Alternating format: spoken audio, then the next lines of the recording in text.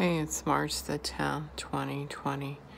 And um, these are my eyes from exposure to frequencies as I slept earlier this morning.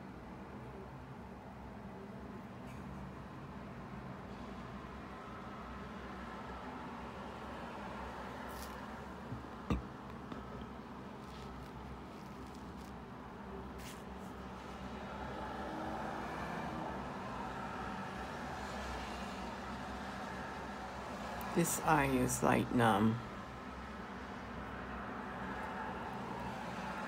I can see burnt, definitely burnt. And I sleep on the left side. And that's the closest to apartment 302.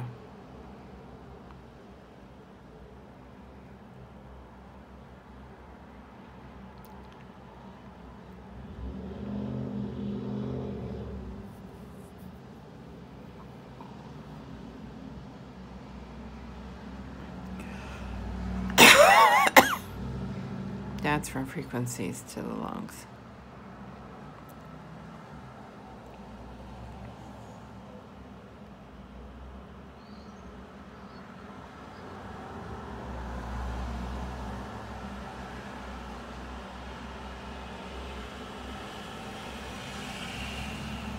I'm assuming they're very, very dry, so it's probably microwaves.